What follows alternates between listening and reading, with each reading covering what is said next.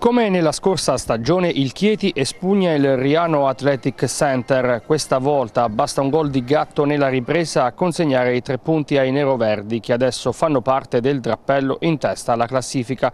Dopo 270 minuti il Chieti è l'unica formazione del girone F a non aver subito reti, una vittoria di carattere sacrificio dopo un primo tempo dove si è badato più a studiare l'avversario e giocarsi la partita sui cambi.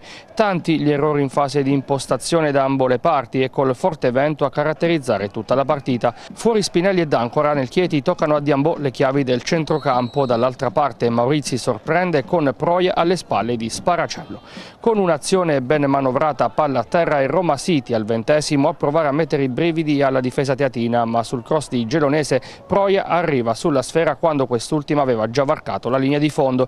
Il Chieti fatica soprattutto a mettere in moto il suo riferimento offensivo Ardemagni, anzi superata la mezz'ora deve ringraziare ancora una volta il suo portiere Serra. Al 35esimo sinistro su calcio di punizione di Proia il numero 1 neroverde vola e con l'aiuto della traversa mette in corner. Poco dopo Geronese prova ad emulare il suo compagno di squadra, questa volta però il tiro dalla distanza è impreciso anche se per questione di centimetri. Male il primo tempo del Chieti mai pericoloso dalle parti di Muraca, secondo tempo che parte con un cambio tra le fila neroverdi, in campo Barlafante per un impalpabile di Ambò, pochi secondi e padrone padroni di casa ancora pericolosi. Questa volta Serra non è preciso nell'uscita, Sfera che arriva a Sparacello ma porta sguarnita mette fuori. Protesta il Chieti al quarto d'ora, abbraccio in area di rigore tra Scogna Emilio e Ardemagni, l'attaccante chiede il rigore ma Jacopetti di Pistoia non ravvisa scorrettezze.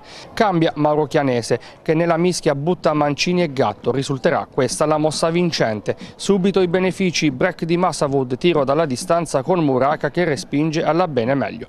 Si arriva così alla mezz'ora, quando cambia il risultato. Mancini manca la conclusione da pochi metri, Gatto il più lesto di tutti ad incrociare il pallone che termina in rete.